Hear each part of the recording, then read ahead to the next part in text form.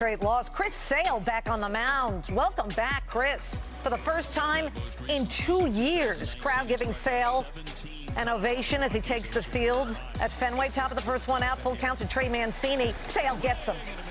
First K for Sale in his return. Two batters later, with a runner on first, Sale gets Anthony Santander. 96 mile per hour heat. Two early Ks for Sale. Bottom of the first now. How about some run support for him? Rafael Devers at the plate, two on.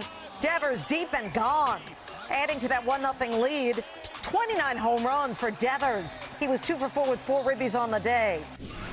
Top of the third now, two outs. Full count for Austin Hays. Orioles down 6 0. Hayes deep and gone.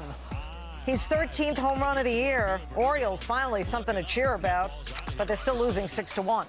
Next batter, Mancini at the plate. No doubt.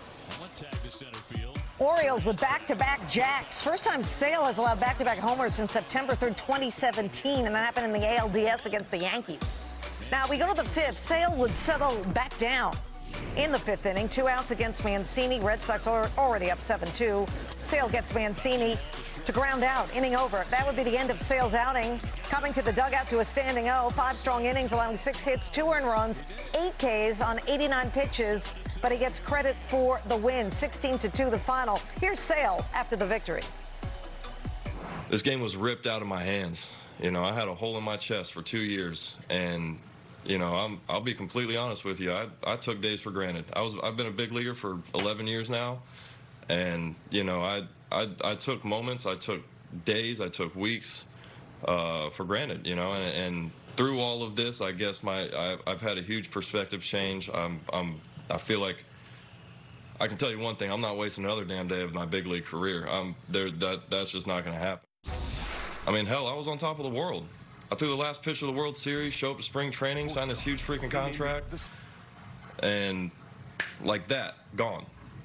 My teammates give me life, man. I, I like this thing was taken from me for two straight years, and and I realized how much I needed this game and how much I needed my teammates, and how they made me feel complete again.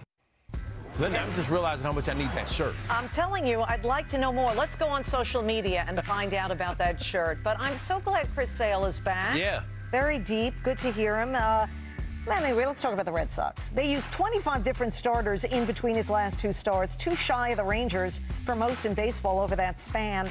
Red Sox pitching also had the worst whip and allowed the highest batting average on balls in play over that span.